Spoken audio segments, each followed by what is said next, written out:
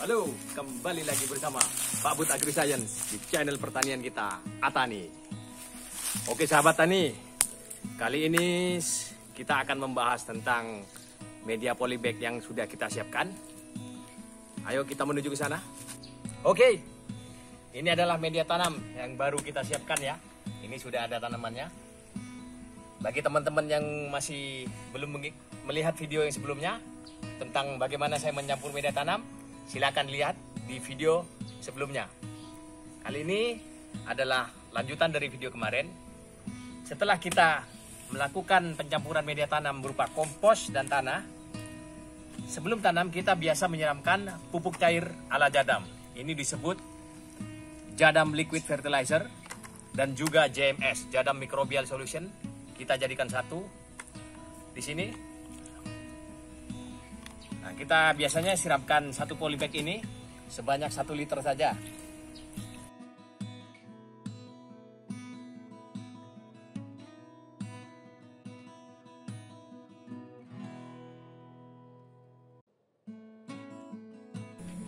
Oke, seperti itu cara penyiraman yang kita lakukan. Idealnya jika kita mengikuti SOP Jadam, Jadam selalu melakukan penyiraman sebelum tanam ya penyiraman JLF dan JMS ini minimal selama tiga minggu berturut-turut. Jeda lima hari atau empat hari sekali. Minimal empat kali siram baru mereka tanam.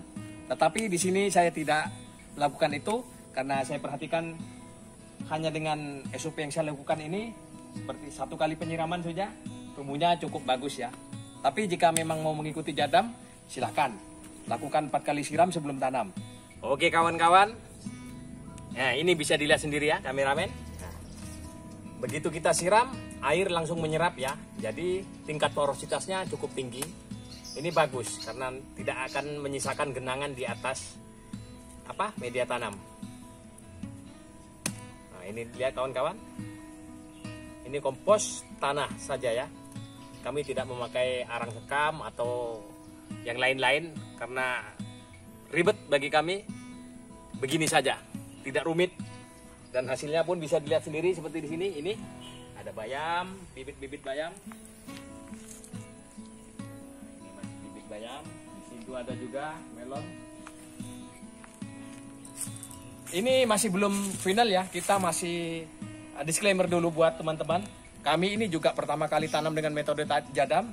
Jadi untuk tanam melon ini kami masih skala riset jadi kita mungkin hasilnya kurang maksimal lah karena ini masih tahap riset. Tapi jika ingin tanam sayuran, saya jamin dengan metode jadam pasti bisa. Bisa dilihat sendiri ini. Kami ini sudah panen yang kesekian kalinya tanam bayam. Oke sahabat tani, kita sudah menyiram, kita sudah menyiapkan media tanam. Sekarang kita akan melihat tadi, mungkin teman-teman ada yang bertanya ya, itu pupuk cairnya dosisnya berapa dan pupuk cairnya dibuat dari apa. Sekarang saya jelaskan secara singkat dulu ya. Nah, kami menggunakan pupuk cair atau yang disebut JLF ini atau Jadam Liquid Fertilizer menggunakan berbahan utama dedaunan, rumput, dedaunan, apa pun. Hijauan yang ada di sekitar kita, kita jadikan pupuk cair dengan ala jadam. Itu disebut dengan grass JLF jadi teman-teman juga jika ingin belajar metode jadam, sebaiknya hafalkan juga ya istilah-istilah yang biasa dipakai jadam seperti JLF, JMS, JNW, dan lain-lain. Nanti akan banyak kosakata itu keluar di video kami. Nah, ini ya. Satu lagi, JLF ini lumayan bau kawan-kawan. Tapi tidak usah takut bau itu adalah menandakan bahwa nitrogennya tinggi. Jadi teman-teman jika melakukan jadam tidak usah takut bau. Nah ini cukup, tapi baunya ya biasa saja sih. Nah, ini. Kita melakukan pengenceran minimal 20 kali sampai 100 kali ya. Apa yang dimaksud 20 atau 100 kali? Misalkan kita ambil pupuk cairnya satu gelas seperti ini, jika kita cairkan 20 kali, pupuknya satu, airnya 20 gelas ini. cukup bisa dipahami ya.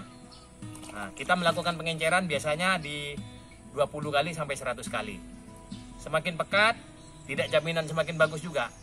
Sebaiknya teman-teman jika ingin menerapkan GLF ini lakukan dulu di konsentrasi yang agak rendah ya, seperti minimal 100 kali pekatan, apa? 100 kali pengenceran. Jika dirasa pertumbuhannya kurang kenceng, kita bisa tambahkan kepekatannya. Seperti dari 100 kita naikkan ke 50 dan terakhir di 20 ya. itu saran jadam. Saran jadam di maksimal 20 saja 20 kali pengenceran. Tapi mau dibikin 10 pengenceran sebenarnya tidak ada masalah. Asal jangan dipekat ya jangan dipekatan.